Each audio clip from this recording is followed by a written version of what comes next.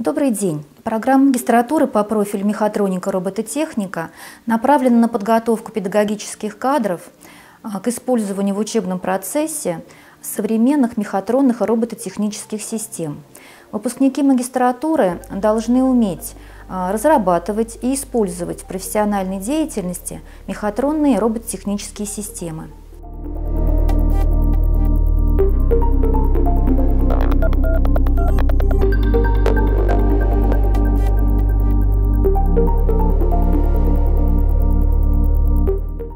В настоящее время образовательные организации проявляют значительный интерес к дисциплинам инженерно-технической направленности, таким как 3D-моделирование, прототипирование, радиоэлектроника, робототехника. Образовательные организации хотели бы преподавать данные дисциплины, но не имеют, э, соответственно, подготовленных педагогических кадров. Дисциплина по профилю мехатроника робототехника занимается решением данной проблемы. Форма обучения данной магистратуре очная.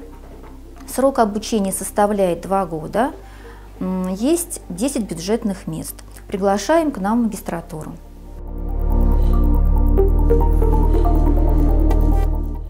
Профиль мехатроника и робототехника интересен для меня тем, что предполагает серьезную инженер-техническую подготовку.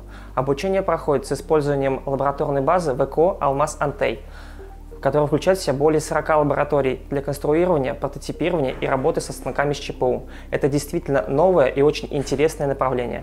Добро пожаловать в нашу магистратуру.